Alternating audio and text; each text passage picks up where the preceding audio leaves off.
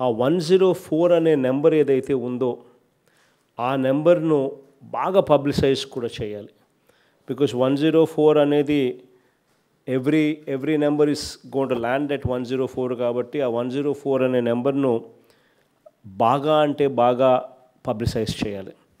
ఈ one zero four దగ్గర నుంచి డిస్ట్రిక్ట్ కలెక్టర్స్కు ఏదైనా రిక్వెస్ట్లు కానీ వచ్చినప్పుడు ఈ వన్ జీరో ఫోర్తో పాటు మీ మీ రెస్పెక్టివ్ డిస్ట్రిక్ట్స్లో మీ డిస్ట్రిక్ట్ కలెక్టర్స్లో ఆధ్వర్యంలో నడుపుతా ఉన్న కాల్ సెంటర్ నెంబర్ కూడా ఖచ్చితంగా రాయండి which deals with COVID so ఇక్కడ వన్ జీరో ఫోర్ ప్లస్ ఈ నెంబరు రెండు నెంబర్స్ ఏదైతే ఉన్నాయో ఆ రెండు నెంబర్స్కు ఫోన్ కాల్స్ వచ్చినప్పుడు ఆ ఫోన్ కాల్స్ను మనం ఎలా రెస్పాండ్ అవుతున్నాము అన్నది మన పనితీరుకు అద్దం పడుతుంది. So this is one major aspect మన పనితీరు అన్నది మనం నెంబర్ ఇచ్చేసిన తర్వాత వదిలేయకుండా ఆ నెంబర్ ఇచ్చిన తర్వాత ఆ నెంబర్కు ఫోన్ చేసిన వ్యక్తి పట్ల మనం ఏ రకంగా రెస్పాండ్ అవుతున్నాము అనేది కలెక్టర్స్ కంటిన్యూస్లీ మానిటర్ చేయాలి. In fact I'm requesting all the joint collectors and the collectors to consistently make some mock calls మీరంతటి మీరే కొన్ని మాక్ కాల్స్ కూడా చేయండి. సో దట్ సిస్టంలో ఏదైనా తప్పు ఉంటే ఫ్లా ఉంటే మీకే తెలుస్తుంది. మనము ఎలా రెస్పాండ్ అవుతున్నాము అనేది మనకే అద్దం పెట్టి చూపించినట్లు అవుతుంది. మన వాళ్ళు బాగా రెస్పాండ్ అవుతూ ఉంటే సంతోషపడదాం. మన వాళ్ళు సరిగ్గా రెస్పాండ్ కాని పరిస్థితి ఎక్కడైనా కనిపిస్తే అది రిపేర్ చేసుకుందాం. సో అది very very important that all the collectors and the జేసీస్ please engage few people in your office to periodically every day make these mock phone calls ఇదే కాల్ సెంటర్కు ఇదే మీ డిస్ట్రిక్ట్ కాల్ సెంటర్కు వన్ జీరో ఫోర్కు ఈ రెండు నెంబర్లకు కన్సిస్టెంట్గా ఫోన్ చేసి మాక్ కాల్స్ ఫోన్ చేసి పనితీరును ఒకసారి గేజ్ చేయండి.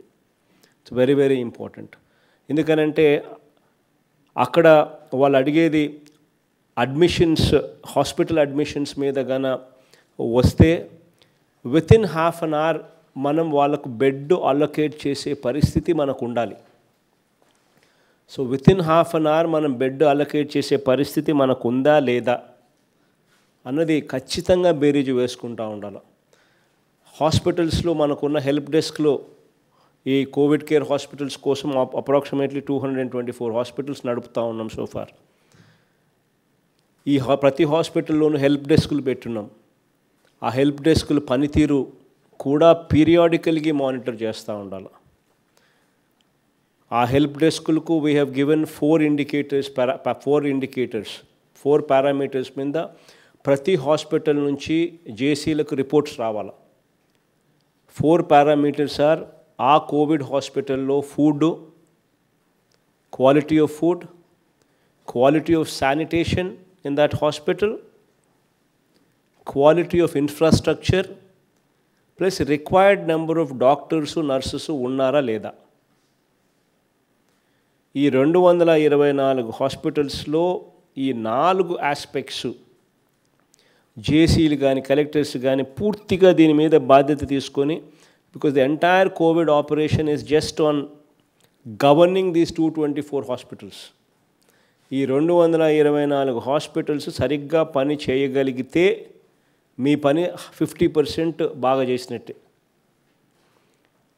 ఈ ఫిఫ్టీ పర్సెంట్ బాగా పని చేయించడానికి మనం సర్టిఫికేట్ తీసుకోవాలని అంటే ఈ ప్రతి హాస్పిటల్లో డిస్టిక్లో ఉన్న ప్రతి హాస్పిటల్లో ఈ నాలుగు అంశాలు quality of food quality of sanitation infrastructure and doctors and nurses numbers కరెక్ట్గా ఉన్నారా లేదా?